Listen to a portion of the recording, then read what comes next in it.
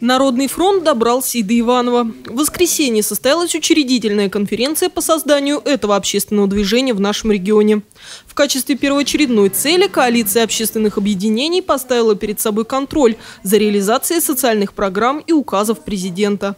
Нам необходимо с вами выстроить эффективное сотрудничество между народом и властью и создать э, фактически э, механизм короткого взаимодействия между э, народом и президентом. И президент, дав согласие стать лидером нашего с вами движения, продемонстрировал нам с вами высочайшее доверие и желание прислушиваться к тем идеям, предложениям, которые у нас а, с вами будут возникать. Фактически новое объединение станет глазами и ушами президента на местном уровне.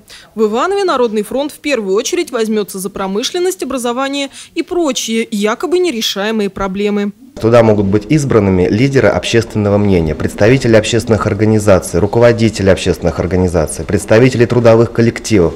То есть все те люди, которые имеют непосредственное отношение э, к самым важным социально значимым сферам нашей Ивановской области. И хоть учредители утверждают, что это ни в коем случае не партия, представители некоторых политических движений все же могут вступить в Народный фронт. Разумеется, это члены и Единой России, патриотов России и Родины. Так что общероссийское движение станет отличным подспорьем для ивановских партий. Наталья Романова, Андрей Семиволков, РТВ Иваново.